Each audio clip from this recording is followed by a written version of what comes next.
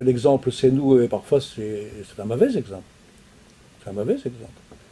Et bah, nous avons, euh, nous avons, ma génération, j'ai 70 ans l'an prochain, donc euh, génération qui est née avec la guerre, est une génération qui a quand même promu le gaspillage comme forme d'existence. Et toujours maintenant. Et bon, alors c'est un mauvais exemple. L'autre côté, l'exemple a été donné par les gens de la génération avant la mienne, que l'on pouvait résister à l'oppresseur, et j'ai un énorme respect pour, les résistants. J'ai un grand-oncle fusillé en 41.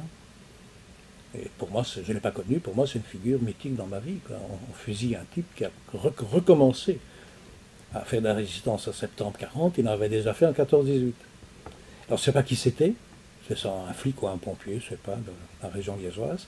Mais je trouve que faire ça, alors qu'il était père de famille, euh, bah, j'ai pour lui énormément de respect, beaucoup plus que pour euh, les intellectuels qui paradent dans les studios de télévision.